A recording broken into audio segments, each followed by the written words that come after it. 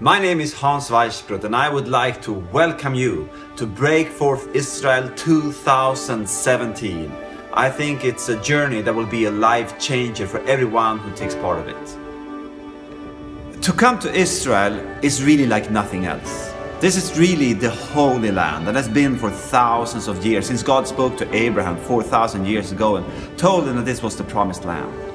And to go to Israel is to go to the land of the Bible. It is at this very spot that the Word of God came to be.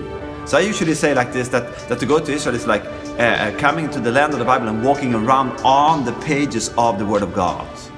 Uh, and this is a spot, you know, we will walk in the footsteps of Jesus, but we will also see many other uh, places with biblical significant things that have happened right on the very spot where we will be to pray and to teach and to worship the Lord. Uh, and we will also meet some extraordinary people down here. For example, pastors who are, who are leading Jewish congregations where, where they believe in Jesus as their Messiah. So this is like no other trip. Uh, it's a life changer.